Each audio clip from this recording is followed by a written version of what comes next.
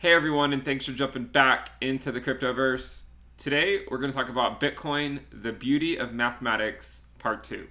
So if you guys like the content, please go ahead and subscribe to the channel, give the video a thumbs up, and turn on the, the bell notification icon so that you can get notified of future videos.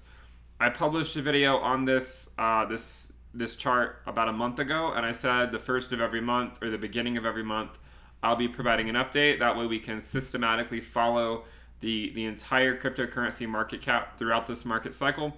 So here I am providing an update to that. And then we're also going to dive into dive into it a little bit more than we did last time. So let's go ahead and jump in. I would remind you to check out the Telegram channel if you guys want to talk about these charts and join a growing community of cryptocurrency enthusiasts.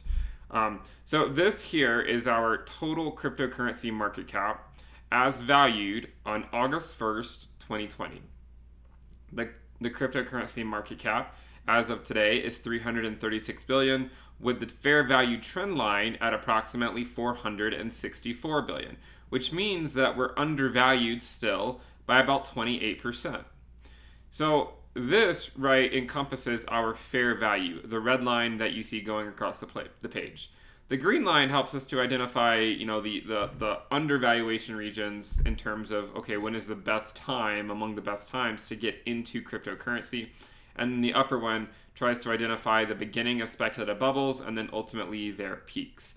Now, one of the things I should make clear in this video that was not clear in the last one is that this is the total cryptocurrency market cap. It still said crypto market cap up here, um, but there were a fair number of people that thought it was just referring to Bitcoin. No, this is referring to the entire cryptocurrency market cap. I'm just calling the title of the video Bitcoin just so that it, you know, it, it basically is Bitcoin for the most part. If you were to draw the crypto, draw the Bitcoin market cap, it wouldn't really start to diverge too much until we got later later on into our entire, you know, cycle here. Um, but I just wanted to to clarify that that it is the entire cryptocurrency market cap and not just Bitcoin. So one of the things I, I want to show you guys, and, and this is going to be somewhat dependent on, or it is dependent on the aspect ratio, but we're going to just go through a case study here. So if we first draw a line from our bottom to our peak, bottom to our peak, bottom to peak each cycle, and then look at the angles that they form with the vertical line. So we're not measuring it from the horizontal, we're measuring it from the vertical. You can see that the first one is 21.6 degrees. Now again, this obviously would depend on your aspect ratio, so the actual degrees is, is fairly unimportant. Therefore, it, it really doesn't make sense to actually get a, a trend from it since, you know, or we can't say take the ratio of, of angles or anything because it really does depend on the aspect ratio.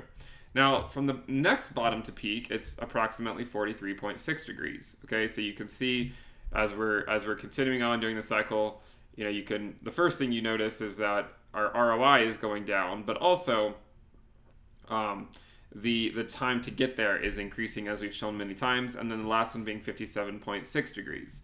Now, if we use the same angle as the last cycle, okay, so this is a, uh, just a, a, you know a, a thought exercise, and we assume a four-year cycle, which I don't believe is the case, but let's assume a four-year cycle just so we appeal to you know to people who do believe it's a four-year cycle. If it's the same angle as the last cycle, then maybe we would expect something like this um, in order to reach the same ROI that we saw last cycle. Now, this unfortunately is likely not going to happen because this is actually around a hundred trillion dollar market cap, which I don't even think the most bullish among of you know the most bullish among us really believe will happen this market cycle. Well, if we increase the angle, let's say to approximately 68 degrees, and we still assume a four-year cycle, then you know maybe we would see something like this where we slow where we peak just above the green line. You can see the dashed line or, or, the peaks above the dashed line are getting closer to it. So we would expect the next one to be even closer. This might put us at a several trillion dollar market cap uh, by the end of 2021 or very beginning of 2022, approximately speaking. Now, if we were to go with my preferred method or theory, which is lengthening cycle theory, then we would expect it to happen, you know, sometime in this range. So the end of 2022 to maybe sometime in 2024. And if we were to draw out a projection, it might look, it, it could look something like this, okay? Now, I want to remind you guys of this trend line before we jump into, into something a little bit new, is, you know, this is our, our valuation versus our trend line to just give you guys an update. We are still, you know, well below our theoretical upper limit we are still within our undervaluation region, right? I mean, we're still below 100%. 100% would mean we are at fair value, which is the red line. And you can see we're below the red line, meaning we're still undervalued in terms of the entire cryptocurrency market cap. Now, if we were to, you know, project out again the next peak, it would look like something it would look something like that, I believe. But here's the interesting thing. So if you first of all, before we get into that, I, I just want to, you know, show you guys this chart relates to these peaks here. So this peak is this one, this peak right here is corresponds to this one, and then this one right here corresponds to this one, and it's just the valuation of it with respect to the trend line, and then this next projection out. Now, let's suppose that the total cryptocurrency market cap is 10 trillion in 2023. Let's suppose that because if we go with lengthening cycle theory and then you know suppose that it peaks right above the green the green regression line at around 10 trillion dollars, let's suppose the entire market cap of crypto is 10 trillion in 2023. Let's also suppose that the price of Bitcoin in 2023 is 140,000. Why do we say this? Well, if you look at our fair value or, or say our, our regression analysis based on non-bubble data and our regression analysis based on you know our, our peaks to sell and look out toward, towards say 2023 we, we would get around $140000 give or take a few k. What's a few k among friends? Now if if that's the case we know that the projected supply of bitcoin in 2023 is going to be around 19.381 million. Therefore if the projected market cap of bitcoin in 2023 at this valuation is approximately 2.7 trillion and the total market cap of the entire cryptocurrency asset class is 10 trillion, then that would give us a Bitcoin dominance of approximately 0.27 or 27%.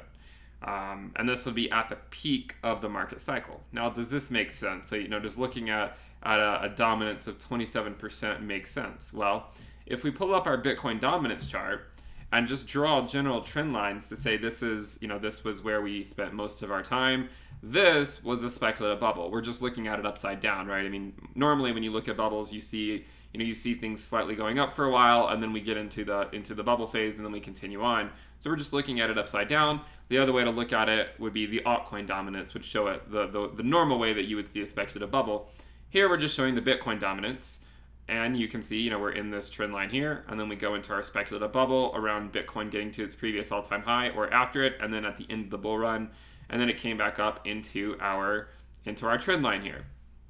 And note that this is a couple weeks old, so the Bitcoin dominance has, has actually changed since I, I made this chart. Now, if the projected Bitcoin dominance at the peak is 0.27, then that puts us all the way down here. Now, the way we could get there, right, is if is you know some some pattern like this. Maybe the Bitcoin dominance you know, it, it, it'll drop and, and increase at various points depending on when Bitcoin makes the run at 20K. I feel like when it does, Bitcoin dominance will, will skyrocket when Bitcoin is, is going to 20K. Um, but then ultimately, once it gets past 20K, I, this is when altcoins will, will probably start shining more so than they already have been. And this is where we can go into, say, another speculative bubble, which could theoretically get us down to that, you know, 27% or 27% Bitcoin dominance but again, it would be but a fleeting moment in time, not something that, that would be sustainable at all. And then we would likely come back up into our general trend line, maybe even coming up back to a dominance of Bitcoin around 60% or so. Uh, so, you know, I could see the Bitcoin dominance going as low as 27%, but but quickly retracing back upwards to, you know, around 60% or in that region. So this is this is basically what I, what I wanted to cover for this video in terms of giving you guys an update to the entire cryptocurrency market cap because this was a popular video last time and, and people were really interested in and you know following this over the next market cycle. So i do want to provide videos for you guys every single month.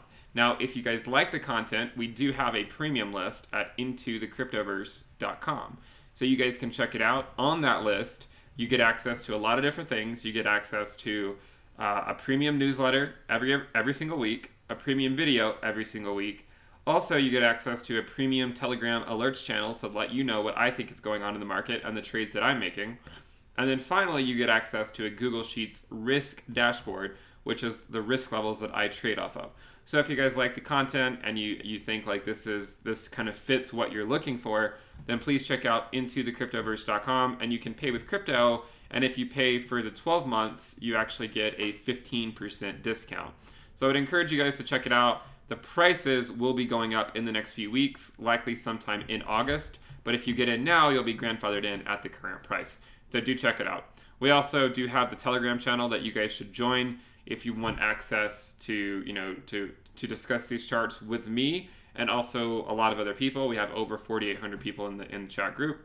And then finally, please subscribe to the channel, give the video a thumbs up to help it with the YouTube algorithm so that more people can see that Bitcoin is on track. It never left its track. It's never died. It's been it's been on the same track it's always been on and we're just continuing to march on business as usual. So, thank you guys for tuning in. I appreciate the support. I appreciate you subscribing and I'll see you next time. Bye.